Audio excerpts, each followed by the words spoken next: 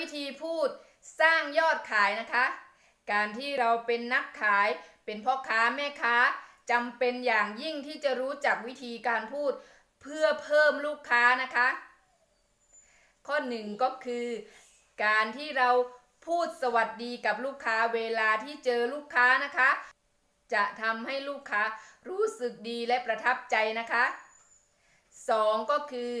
การที่เรา กล่าวยกตัวอย่างลูกค้าเดิมนะคะ อย่างเช่น ขายเครื่องใช้ไฟฟ้าใช่ไหมคะ เราก็บอกว่าลูกค้าเก่านะคะ มาซื้อแต่ตู้เย็นรุ่นนี้เลยค่ะ เป็นรุ่นที่ขายดีมากๆเลยนะคะ หรือว่าถ้าเป็นขายเสื้อผ้านะคะ ก็บอกว่าเสื้อตัวนี้นะคะ เป็นเสื้อที่ผ้าเนื้อดีมากเลยค่ะ เป็นเสื้อที่มาใหม่และก็ลูกค้าชอบนะคะ ซื้อบ่อยๆเลยค่ะ เป็นเนื้อผ้าอย่างดี ใส่สบายนะคะ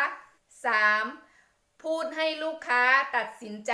ซื้อสินค้าในร้านอีกนะคะ อย่างเช่นเวลาขายเสื้อใช่ไหมคะ ลูกค้าซื้อเสื้อแล้วเราก็บอกลูกค้าว่า ถ้าลูกค้าซื้อเสื้อตัวนี้มันแมทกับกางเกงตัวนี้มากเลยนะคะ ถ้าซื้อแล้วจะได้รับส่วนลดอีกนะคะ รับทั้งเสื้อทั้งกางเกงเลยดีกว่าไหมคะ แบบนี้นะคะ 4. ก็คือ การพูดถึงความทันสมัยของสินค้านะคะ อย่างเช่น การขายเสื้อผ้าใช่ไหมคะ เราก็บอกว่าเสื้อตัวนี้เพิ่งมาใหม่เลยนะคะ เป็นเสื้อแฟชั่นที่มีลูกค้าเข้ามาซื้อเยอะแยะมากมาย เพราะว่าตอนนี้กำลังฮิตใส่เสื้อแบบนี้เลยนะคะ